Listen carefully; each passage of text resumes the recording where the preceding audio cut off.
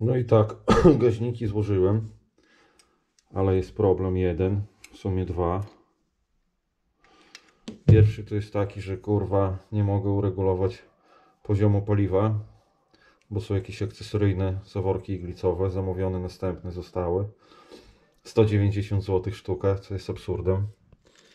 No i druga zagłoska to, że fabrycznie mają dwie różne dysze.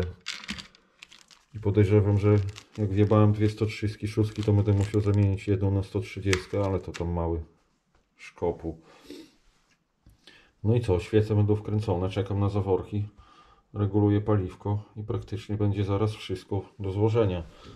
Przyszło nowe koło, zaraz zespół sprzęgła rozrusznika będę składał, całą pokrywę ogarnę i będzie cacy.